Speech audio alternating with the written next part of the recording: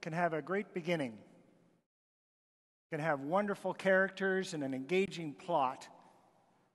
But if the end doesn't end the way I expected, if it's not a happy ending, I usually don't care for the story. You know, be it a movie or, or a book or even a story that someone might be telling me about a certain situation that they experienced. And I guess I, I, I consider myself normal. Do you consider yourself normal? Do you like happy endings? Do you like the plot to sort of go the way you like it to go and then finish well? I consider that normal. I hope I'm normal. If, you, if that's not for you, then you're not normal. I like happy endings. I like things to end well. That's, that's just me. And I, I consider it, I hope it's normal. Uh, today we celebrate Palm Sunday. It's also known as, as Passion Sunday. And we began the morning by singing that song, the, the Hosanna, Hosanna to the Son of David, the King of Israel. That word Hosanna, we, we, we hear it a lot. Um, if, Hosanna is an Aramaic word and it means save us, we pray.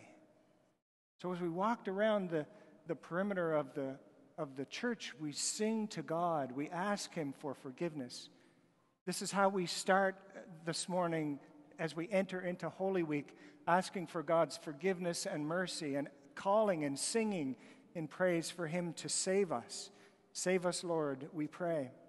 And we can imagine in our mind's eye as, as Jesus enters Jerusalem on a colt, and everyone around him is, are singing these words, are praising him.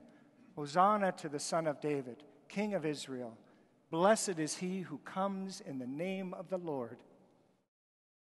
This was our starting point this morning. We begin Holy Week, and we begin what is known as the, the Easter Triduum. A triduum, last piece of, of grammar we're going to spend this morning, triduum. Triduum is a Latin word, means three days or three day. Triduum. So try, obviously, try three. And duum means day. Can you say that word, triduum? Triduum. It's a hard word to say. And I've heard a couple of different versions, but the one I use is, is, is triduum. Um, it consists of three days Holy Thursday, Good Friday, and Holy Saturday, where we celebrate the Easter Vigil. And it's a, in Holy Week, these three days are, is a consistent three day story that actually doesn't have an ending. We move from Holy Thursday to Good Friday and then Holy Saturday. So, as the bishop pointed out this uh, last night when he was here for Mass, there, we don't dismiss, uh, we, we, there's no dismissal on Holy Thursday and on Good Friday because it's, it's a continual prayer. We are in continually uh, in prayer with Jesus as we walk through and journey with him through these three days. So, since it's been a little while since we've been away from the Triduum, we, we haven't been able to celebrate the Triduum fully in three years. If you remember, two years ago, every church in the diocese was closed. So the, the Triduum was actually at the Basilica, and we were invited to watch online. Last year, we were, we were under heavy restrictions as far as people. So it's been three years since we've been able to enjoy and experience and celebrate the Triduum as a church, um, as a parish, and as a church family. So I, I, just wanted to spend a few minutes with you just to, to refresh your memory a little bit about what we can expect on each of the three nights. And we would look first at Holy Thursday. And on Holy Thursday, we, we experience the institution of a couple of things. Number one is we, we, we read the story of the Last Supper, of the Lord's Supper, where Jesus institutes the Eucharist. What a wonderful experience that is. And the other is that at, at the Lord's Supper, Jesus, and on Holy Thursday, Jesus institutes the priesthood, the ministerial priesthood. So it would be wonderful for all of us to join Father James as he would celebrate uh, the institution of the priesthood as we join together as a, as a parish family. Um, Father James will wash the feet of 12 parishioners. Not a job I'd want, but he's going to do it as he represents Jesus washing the feet of, of 12 people, of the, the apostles. So on Holy Thursday, we really get a sense of Jesus as a servant, as he institutes the priesthood, the Eucharist, and as he washes the feet of his 12 apostles. Then we'll move into Good Friday. Good Friday is all about the cross. Cross, we will, we will venerate the cross. Um, we experience the, the, the solemnity, the, the, the solemnness of the day of Good Friday, because it's the day that we, we experience the death of Jesus on the cross. And everything within the sanctuary is pretty bare, the, the altar is, is bare. We, we have a real sense of mourning and loss as we deal with the reality of, of the death of Jesus in such a horrible death through crucifixion on the cross. On Good, on Good Friday, because it's all about the cross, we see Jesus as sacrifice. That's how we experience him on Good Friday. And then finally, on Holy Saturday, we have the Easter Vigil. We experience the resurrection of Jesus and how he comes out of the tomb. The night begins with a fire outside. As we, as we uh, baptize the, the candle, we light the candle, and then we all come in and we light individual candles which we hold. As a child, this is the night that I remember the most. If there's a night in the church year that I remember, it's the Easter Vigil. Because I, I, the church was full of people, and there's candles. It's almost, the church is basically dark, candles everywhere. It's just such a beautiful and moving experience for us as a parish as we come to celebrate the Easter Vigil. We also, obviously, we will have three baptisms on Saturday night at the vigil, and uh, we have one candidate that will also receive some sacraments. So um, we, we have the sprinkling rite. So if you got a little bit wet out in the foyer, you you might get a little wet on, on uh, Saturday night, because we do have the sprinkling rite, and we go about and, and um, use holy water to, to bless everybody. Father James is going to sing the Exsultet. And uh, the Exsultet is, is a beautiful and moving hymn of praise. It's an ancient hymn of praise.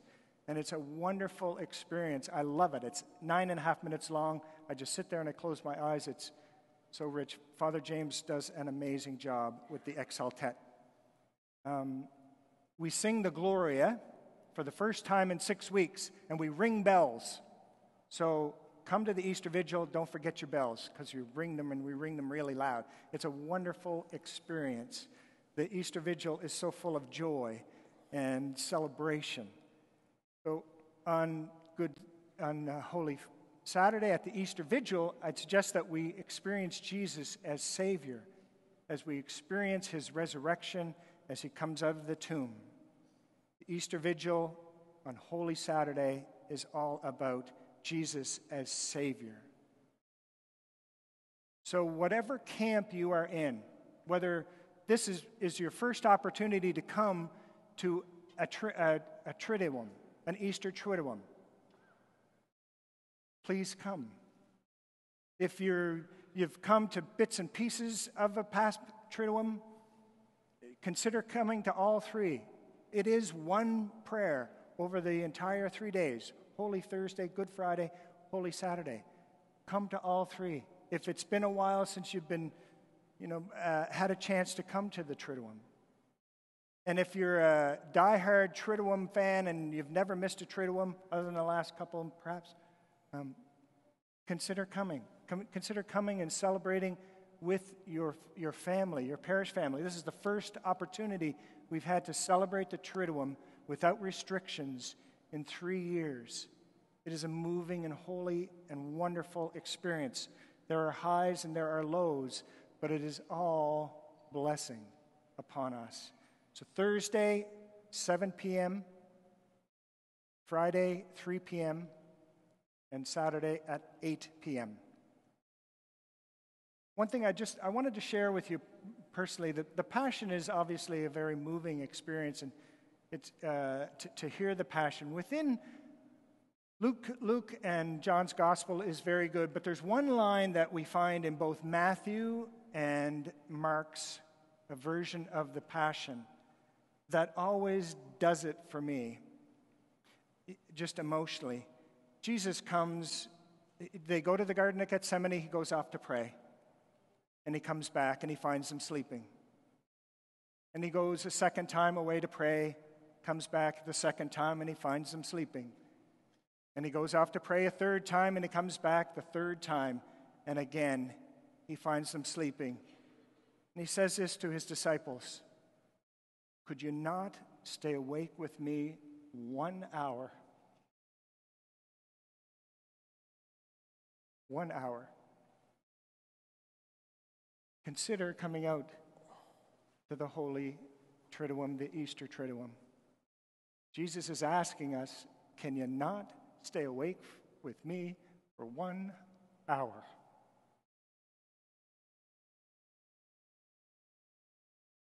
And I'll give you four final reasons why to consider coming to the Triduum.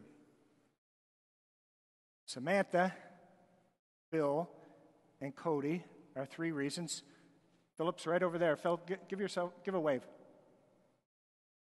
Phil will be baptized on Saturday night. I don't know if anyone else is here. I saw Phil, so um, or Samantha or Cody, but come and support Phil and Samantha and Cody and Marjo, and welcome them into our parish family. Welcome them into the church. There's a picture of Marjo. Uh, if you haven't seen her, um, her video on our website, please go. She does a, an alpha, um, an alpha talk, and it's, it, this video is excellent. She's a woman of great faith. The Easter Triduum is a beautiful story. It's told over three days. It's a true story of Jesus' death, life, death, and resurrection. It has highs, it has lows. It is the greatest human story. It's a true story. It's a, a joyful story. It's a moving story.